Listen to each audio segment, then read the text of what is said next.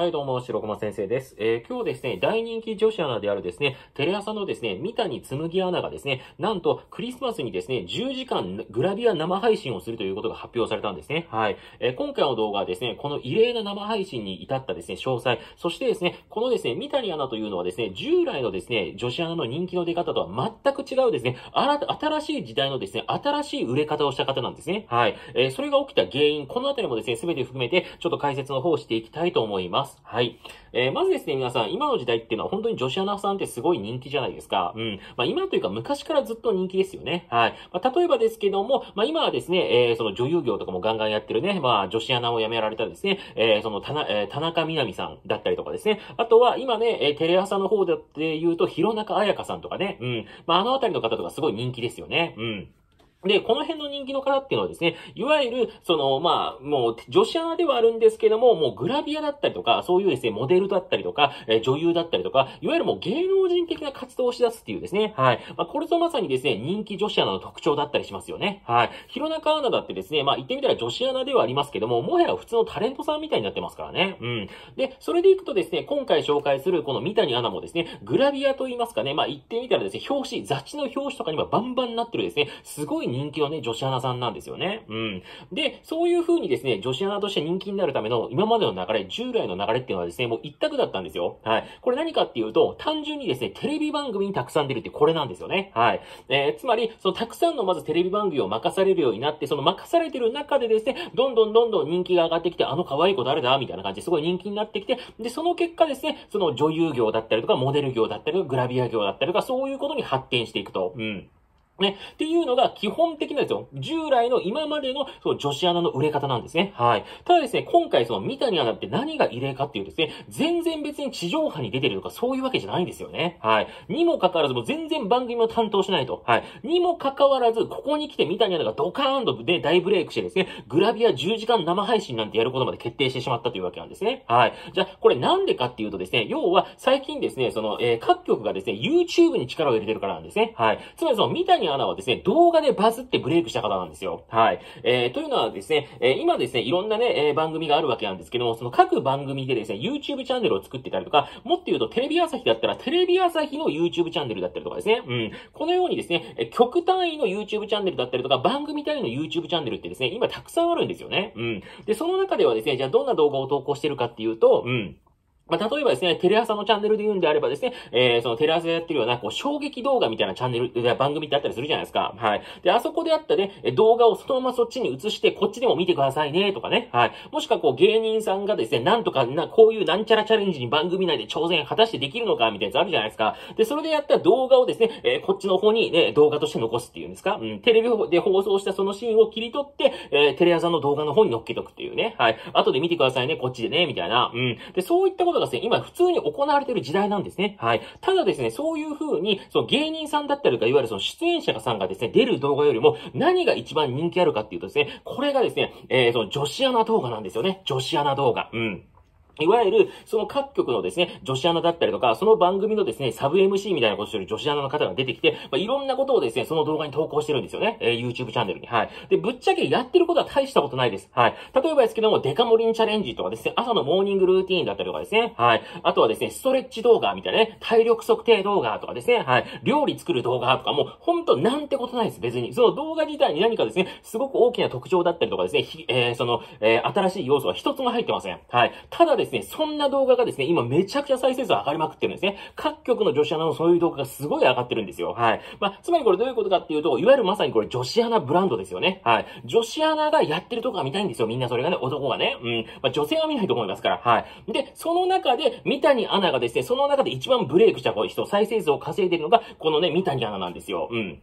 だから、三谷アナはですね、言ってみたら地上波の番組とか全然任されてないにもかかわらず、そのですね、えテレ朝の YouTube 動画に出演して、その中でですね、ダイエット動画とかいろんな動画をね、まあ、スタッフがね、考えてやったんでしょうね。投稿した結果、それがですね、1000万再生とかね、関連動画も含めて、それくらいの再生して、その結果、いわゆるですね、そのグラビアだったりとか、そう写真的な仕事がどんどんどんどん舞い込んできて、そこからブレイクした方なんですよね。はい。これと、とですね、まさに新しい売れ方ですよね。女子アナの新しい売れ方なんですよ。はい。で、実際問題ですね、えーこの三谷アナはどんな方でですね、一体どういったね、グラビア生配信をするのか、これちょっと記事を見ながらですね、ちょっと大事なところだけ解説していきたいと思います。はい。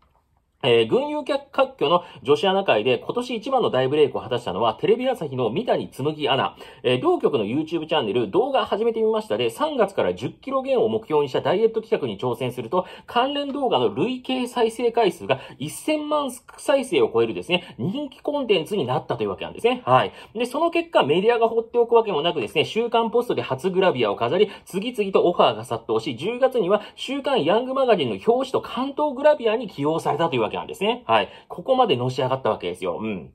はい。えー、でですね、そんな三谷アナですね、人気があるだけにですね、12月9日にで、9日に更新された動画始めてみましたで、重大発表が行われたんですね。はい。それ何かっていうと、クリスマスに10時間生配信チャレンジが決まったというわけなんですね。はい。これですね、何かというと、ヤンマガとのコラボ企画で、グラビア撮影をすることをスタッフから知らされると。うん。まあ、つまりその、え、グラビア撮影をしてるところを生配信でそのまま撮ってね、出すってことなんでしょうね。はい。で、それが後日、ヤンマガの表紙になるとか、そういうことなんじゃないかなと思われますね。うん。うんはい。これなんか新しい試みですよね。グラビア撮影をしてる瞬間を生配信するっていうね。はい。で、しかもそれをグラビアアイドルの方じゃなくて、そのね、女子アナの方がいるってね、ここですよね、すごいところが。うん。こういうなんかグラビア界の新しいですね、催し物っていうんですか？こういうのって普通に考えたら、グラビア界を今牛耳ってるような人気グラビアアイドルがやるんだったらわかりますけど、それを女子アナさんがやるわけですからね。はい。いかにこの三谷アナのですね、まあ、えー、需要があるかってことがよくわかりますよね。はい。えー、でですね、うん。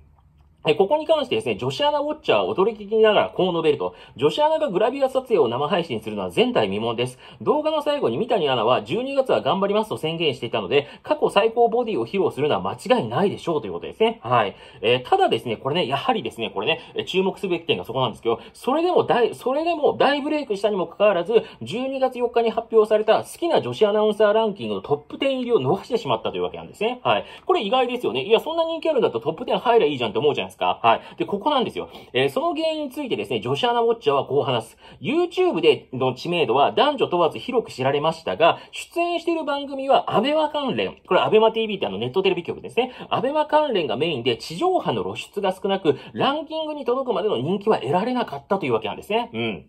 はい。まさにそのネット上のこの動画コンテンツでの人気だから、地上波には出てなくて、一般層にはまだ知られてないと。はい。ただそのネットとかでこれ見てる人たちからは熱いファンががっつりついてるっていうですね。そういった形ですよね。はい。だからこれまさにこう YouTuber とかとかと一緒ですよね。YouTuber として再生回数100万回、200万回とかめちゃくちゃ言っていて、がっつりファンがついてるけども、地上波に出たら老若男女いろんな人たちが見るから、ね、その動画を見てない人いっぱいいっぱいいるから、この人誰っていう風になるっていうですね。まさにその現象ですよね。はい。まあ、ただですね、この三谷アナに関してはですね、来年2000 2021年に関して言う、2021年に関して言うんだったらですね、いろいろとですね、その地上波のですね、番組の出演がもう決まり出してるんですね。はい。まあ、だから言ってみたらテレ朝もですね、こうネットから生まれたこの人気女子アナっていうをですね、っていうですね、このコンテンツをですね、余すことなくですね、活かして地上波にも進出していこうというですね、この腹がですね、丸見えですよね。うん。はい。というのがですね、まあ、この三谷あのですね、グラビア、えー、10時間グラビアのですね、内容とそして売れた経緯になります。はい。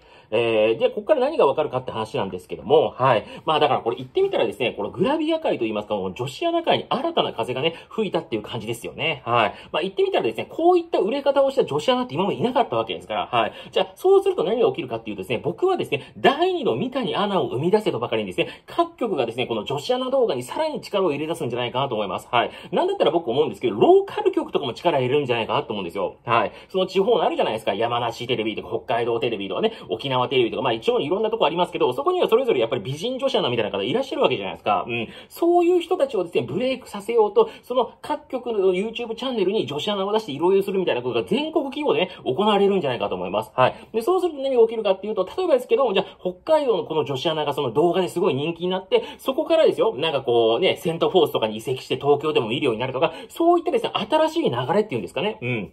これがですね、できていくんじゃないかと思います。まあ、実際問題、ローカル局でですね、すごい人気の女子アナがですね、東京に移籍して、東京のテレビ局とかそういう番組出まくるっていう流れは以前からありますけど、そこに行くまでの流れの中にその動画というものがすごい大事になってくるんじゃないかなと思いますね。はい。まあでも何にせよですね、本当にね、えー、やってることだけ言う、もうちょっと嫌な言い方してしまえば、してしまえば、やってることだけ言うと、別になんか新しいことしてるとかそういうわけでは全然ないんですよ、マジで。マジで普通に。うん。普通に飯食ったりね、踊ったりしてるわけですよ。踊ってみた、みたいな。なんとかの人気のダンス踊ってみたとかね、や、なわけですよ。にもかかわらず、ここまで上がるってことは、まあ、いかにですね、この日本においてのこう女子アナブランドと言いますかね。うん。っていうものがですね、男にとって重要視されているか、男からのですね、需要があるかってことですね。なんかこう、まざまざと見せつ、見せつけられるような、まあ、そんなね、えー、案件と言いますか、事態だなって僕はね、思いましたね。はい。というわけでですね、今日はこの辺でおります。えー、ご安心ちょっとも今日は収穫さった方ということで、こういうチャンネル動画とコメントだったらぜひお願いします。どうもありがとうございました。